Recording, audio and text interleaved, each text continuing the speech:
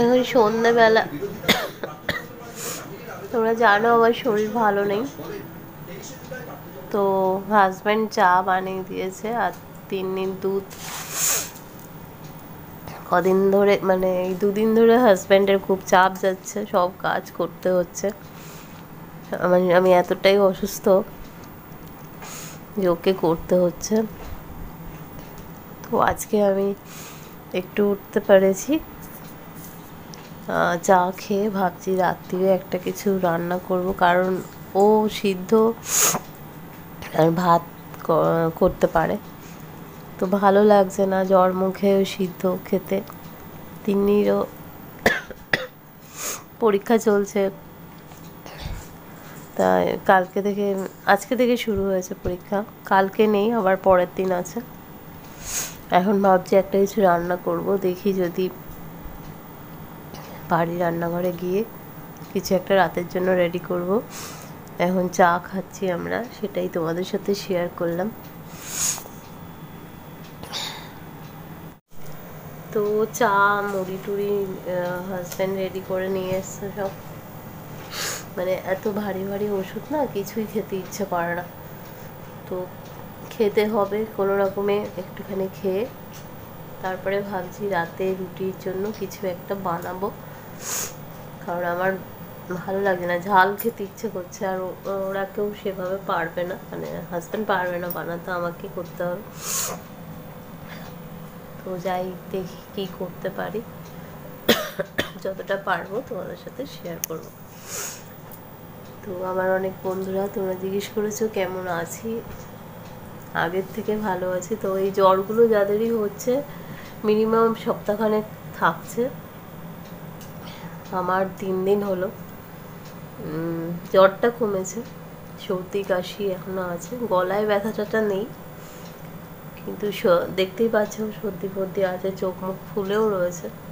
ভীষণ হাত, পা পিঠে ব্যথাটা কেন হচ্ছে জানি না। পিঠের বাঁদিকে ব্যথা।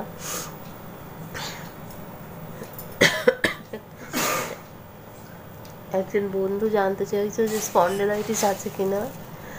কোনোদিন তো স্পন্ডেলাইটিস সেইভাবে ফিল করিনি বা ডাক্তার বলেননি টেস্ট ফেস্ট করাতে, তাই আমি জানি না। হলে হতেও পারে। হঠাৎ করে পিঠে ব্যথাটা শুরু হয়েছে। তো আজকে অনেকটা ভালো আছি।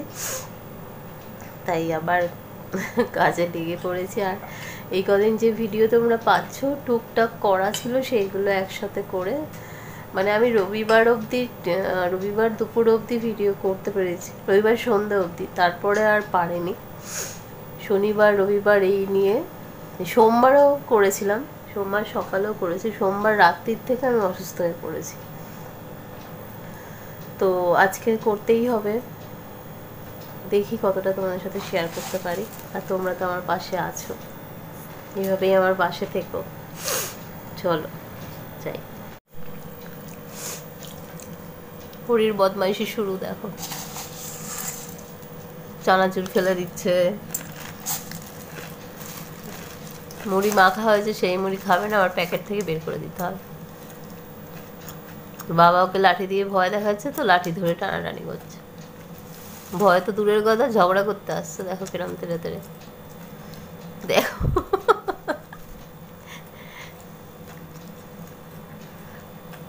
সারা দিন হরির বদমাইশি। অথচ আমি যখন উঠছিলাম না জ্বর ছিল খুব হরি চরকি তুত্তুরি কেউ খায়নি। খাবার নিয়ে এক হাতে চুপ করে বসে আছে। এই কেক কেক দিয়েছে হরিকে ওর বাবা। যে খেয়ে নে ও কেকটা ধরে নিয়ে বসে আছে আমার দিকে তাকিয়ে। আজকে আমি সন্ধ্যাবেলা উঠে বসেছি, ওর দেখো না খেলা শুরু হয়েছে। চরকিও খেয়েছে তুতুরিও খেয়েছে বাইরে খেয়েছে ঘরে ঢোকাবো। হরির জন্য দরজা বন্ধ করে রেখেছি, বেরিয়ে যাবে তাই। হরি এখন ঝুড়ি ভাজা খাচ্ছে। ওর একটু বদমাইশি, একটু খেলা, একটু এসে কামড়ানো।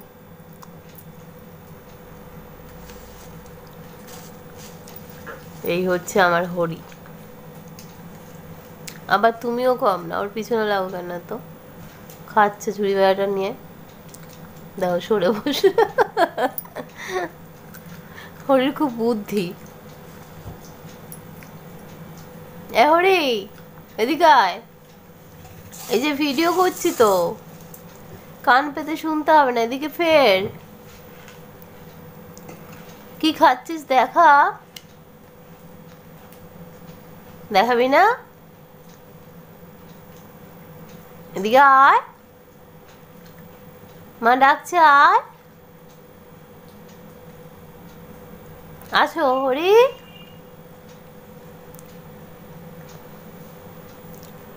গেল চানাচুর খাওয়া?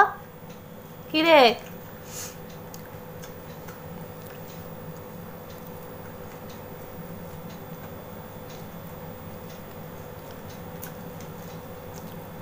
ছেড়ে দাও না, পরে দেখি।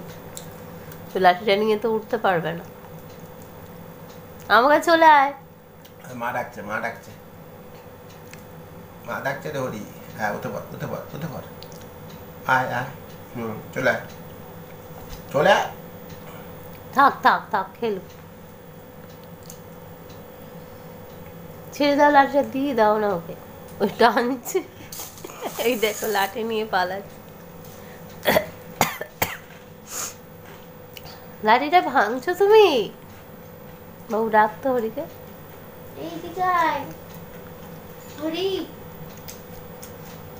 লাঠি পেয়েছে লাঠি ভাঙছে। ওকে লাঠি দিয়ে মারা হয়। লাঠি দিয়ে ওকে ভয় দেখানো হয়? কৃষ্ণ ঠাকুর দেখো। লাঠি ওই আবর্জনা দেখে